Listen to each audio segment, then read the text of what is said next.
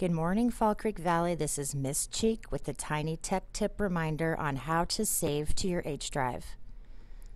Today in advisory, you will be submitting your bio page on My Big Campus. I wanted to remind you how to save it. Here we have Miss Bradley's bio page. She has all the criteria done that was asked. So what we're going to do is save her file the correct way so we'll be able to submit it on My Big Campus. So you will go to File, Save As. Now this comes up here. Some people's may not look like this right off the bat. It may just look like something like this. To find your H drive, make sure that you're in the computer area. You can click on it like this and you'll find your name with an H at the end of it or you can click the little down arrow and find the one with your name and an H.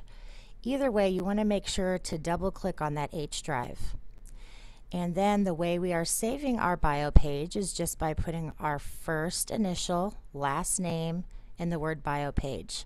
So for Miss Bradley, we're putting J Bradley bio page. And then we're going to make sure Yep, I'm in my H drive. There's my name. And hit save. Okay, that's how you save your bio page. Stay tuned for another video on how to submit your bio page.